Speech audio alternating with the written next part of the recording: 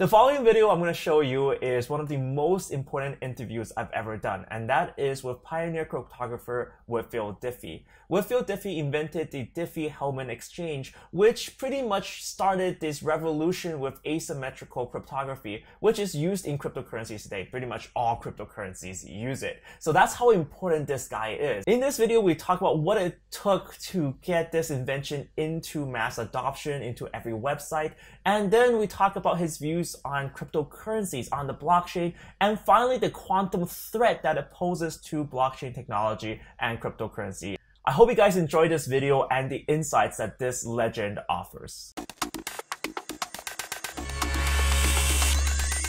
Hey guys, I'm here with American cryptographer Whitfield Diffie. So, how, how do you find this field right now? So, you've been in cryptography for a long time, and what do you see in this kind of blockchain well, space? I'm seeing this. I'm experiencing something for the second time.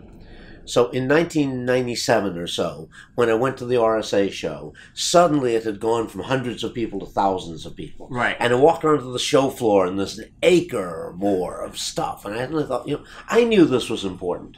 I right. knew it was going to be big. I imagined you know, millions of devices chattering at each other, but I never understood how many thousand people had to be hustling to turn a buck to make it work. Right. and this, I'm having a feeling again, all of a sudden it's exploded again. Yeah, and, and it's like this conference is just going huge and bigger yeah. and bigger, and it's right. it requires a lot of effort. So with pushing cryptography forward as well. So what you said is you said it took a lot of effort, like a lot of people to hustle to right. to do that. Yeah when I started out, I didn't understand cryptography as a business. Mm-hmm. I thought about cryptography as a technology, Think cryptography as, in some ways, a political phenomenon, but I didn't think about how big a business this would have to become to achieve the the things I imagined technically. Right. right. I mean, pretty, pretty much right now, the whole internet is based on public key cryptography. You got HTTPS and is, is that true or well, it's an essential ingredient. I mean, the, I would say you know the whole internet is based on the IP protocol. Right? That's right. Imagine, but but um, but yes, public key cryptography plays, as far as I can see, an essential role mm-hmm. in the security of internet commerce. Right, right. And how do you how do you get introduced to the blockchain space? I mean, um... you know, I uh, that's a great embarrassment because about what six seven years ago we, we picked the right time it, um, john markoff of the new york times right. uh, sat down with me at my usual cafe in palo alto right. and he told me about bitcoin and he gave me this uh, paper about bitcoin and i was fascinated right. primarily with the notion of bitcoin mining right. as an issue of you know you can invest money and then you can mine something valuable just the way you can invest money in prospecting and get yourself a gold pan and things like that and go right? right. but for some reason i missed the fact that i could just download uh, there was code i could have downloaded i could have mined bitcoin myself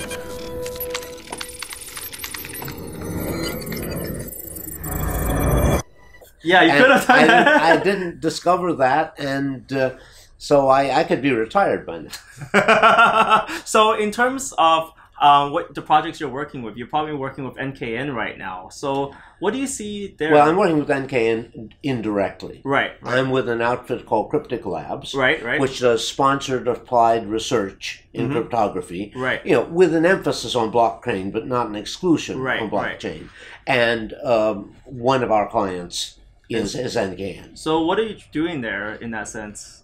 Like, how, how are you helping them with the cryptography? Well, you should ask them whether I'm helping or not. um, they have an idea about, a, as they call it, a new kind of network. Mm-hmm.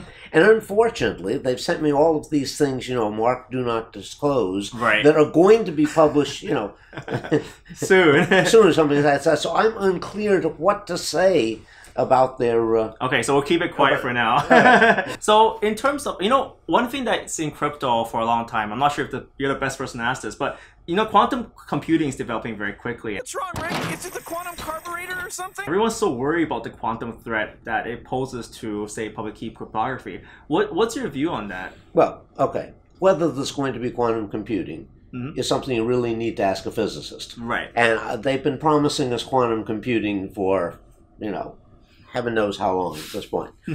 and it's made in some sense, you know, how many how many bits worth they can do. It hasn't hasn't made a lot of progress. On the other hand, it is also clear to me that a lot of thinking has been done on the subject, and there is some reason Mm-hmm. that Intel, Microsoft, uh, Google was another one, IBM, Yeah, they're all trying to build. are all trying to build quantum computers. The, the processor is a quantum computer. So I, I believe, I believe that's going to come along. Um, and the idea of quantum computers is solve Shor's algorithm apparently, like or, or there's an algorithm that you can try to. It's an algorithm that finds hidden cycles. right. Right. So in any transformation of, of a message space, you can keep transforming the message again and again and again and again. Dormammu! Dormammu! Dormammu! Dormammu! I come to bargain! Eventually, you get back to something you've seen before. Right. Right. And but it might be hard to find out how long it is before that happens. That, that's what's at the heart of Diffie-Hellman and RSA mm-hmm. is being able to conceal the lengths of cycles. Right. Okay. And Shor's algorithm finds hidden cycles. Right. So it represents a significant threat to the current public key crypto systems. And there are two possibilities, right? And I one is that that's sort of a limited threat because those exponential things can be scaled quite a distance. Mm-hmm, right? So Daniel Bernstein has for his amusement a billion bit RSA modulus. Okay. I, I don't think that's really a very practical object, right? Thing, but the point is, we're using you know two, three thousand bits at the moment. We could scale to ten thousand And bits or something. can't and- even find any well, cycles there, right? That's Well, uh, that's well, that's what I don't know. That is, say, it depends on exactly how far the quantum computers can be scaled. right. But right now we don't have a practical. Well, right now we don't have a practical way. They keep announcing they factored the number fifteen, right? Faster than anybody ever factored the number fifteen before, right? I mean, there may be some slightly. I remember some talk about fifty or fifty-one qubits or something, but Right. but the point is that it isn't anywhere right at this moment. Mm-hmm. You know, nothing that I know about is anywhere close to what's needed No. No. but that it could come on fairly suddenly. Now, there are other techniques known that are not as vulnerable to quantum computing. Mhm. However, they're also to speak, larger and slower. Right. So, my interest in that direction is in part that you might find yourself with the need to cache keys, to do a key negotiation, and then keep the key around for somewhat longer Right. and that so i imagine a world in which maybe you know on january 1st or 2nd business day you you call up amazon and you have a one minute long call in which you negotiate your key for the year Right. And then cache that key. and then you future- cache that and you hold on to that key Okay. right now i don't just don't know whether that's what's coming but that's one of the inconvenient things one can easily imagine It's kind of scary because there's always a threat that's gonna come, but then you never you never see them deliver. That's the biggest problem. Like it's like Well, all right, but sure, but that's you know, if uh, quantum quantum computing comes through, it's going to deliver a lot more than an impact on cryptography. Right? I mean, there's all sorts of engineering problems that will be amenable to this vast impact, and it might be sufficient that nobody must care what happened to cryptography. I mean, you know, it might be. we're walking around the ceiling instead, you know.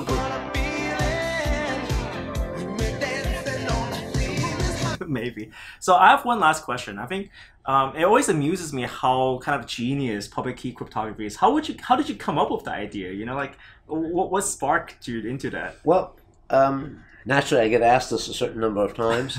Roughly speaking, you know, like all mathematicians who got into cryptography, right? Essentially, I have, I want to clean this subject up. Nobody knows for sure whether crypto systems are secure. This just needs a sound mathematical basis. When I have systems, we're going to prove they're secure. We couldn't solve that problem, right? So I was sitting around and couldn't solve that problem. I worked on other things, you know. Right, And And um, one thing I was trying, what I was trying to do was to combine what's called uh, identification friend or foe, in which a fire control radar uh, challenges an aircraft and says, you know, do you know how to encrypt my message and send it back to me? And I'll tell the I'll tell the gun to refrain from shooting at you. Right. And one-way ciphers as used in password tables, which protect you. In you know, the first thing, the IFF in in more domestic terms protects you against shoulder surfing.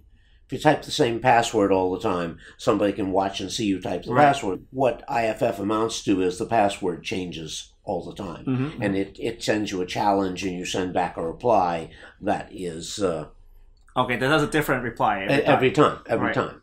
and so the but the but there's another a, a wholly another problem, which is what's represented by passwords, that it's really in, really convenient not to have the password table be secret.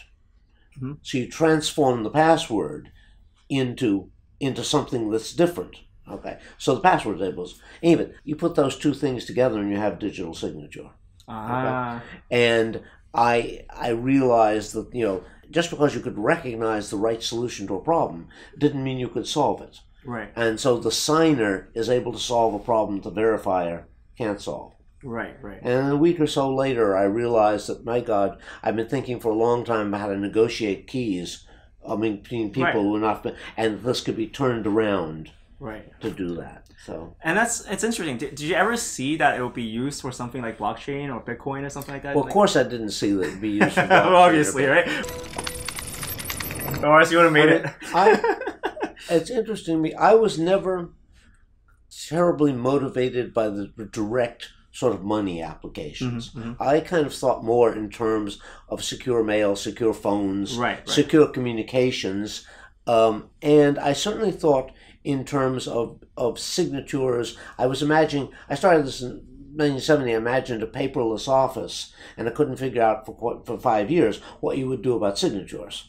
Right. So this is, you know, I was thinking more in terms of interoffice memos and letters and things of that kind.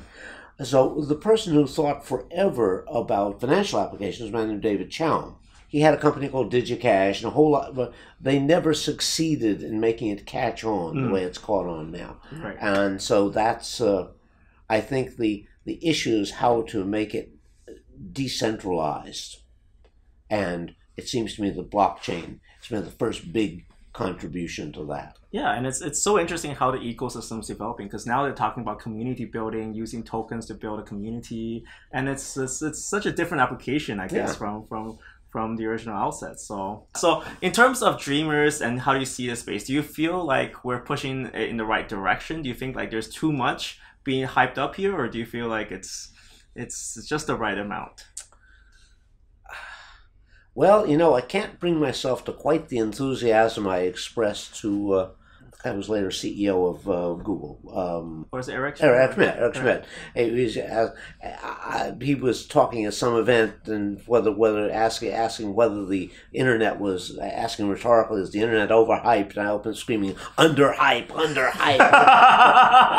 Uh, so I mean I think you know I I think nobody can imagine the impact of communications Mhm. on human society. Right. We've seen one percent of it, a tenth of a percent of it, or something. How individual things like you know public key or blockchain or something else will play into that, I don't know. But uh, there's certainly a lot of room for for action. Awesome, and I hope you enjoy the conference, and I hope Thank you have you. a great talk today. Good. Cheers. Thank you much. Thank you.